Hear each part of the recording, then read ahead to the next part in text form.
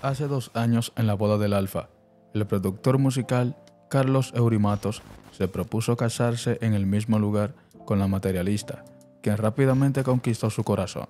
Después de una predicción audaz, la pareja celebró su boda este sábado en el lujoso hotel El Embajador de Santo Domingo. La ceremonia fue un momento emocionante para Matos, quien destacó la integridad de la materialista y su conexión única. Su historia de amor comenzó de manera casual en Nueva York con unas horas de conversación y una hamburguesa callejera, aunque inicialmente surgió mientras la materialista consideraba un negocio. Su relación floreció de manera orgánica.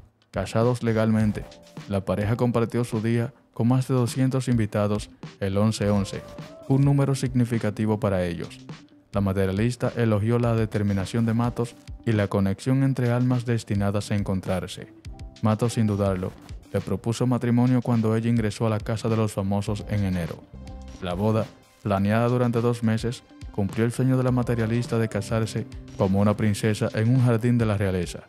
La pareja vivió cada proceso juntos, incluso cambiaron de wedding planner en el último momento.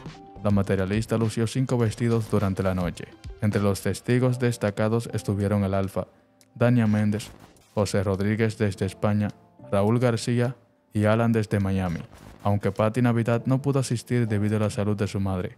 La pareja, emocionada, habló en exclusiva con People en español sobre su nueva casa, la vida en pareja y la posibilidad de tener hijos. La historia de Matos y la materialista es un hermoso viaje de amor que culminó en una boda de ensueño, marcada por la conexión y la determinación de esta pareja dominicana.